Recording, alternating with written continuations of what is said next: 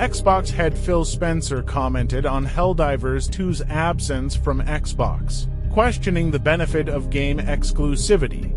Acknowledging the game's success on PS5 and PC, he predicts a future with fewer hardware exclusive games, aligning with Xbox's strategy to support multi platform game availability. Spencer remains open to the idea of games like Starfield and Indiana Jones potentially reaching non Xbox platforms in the future,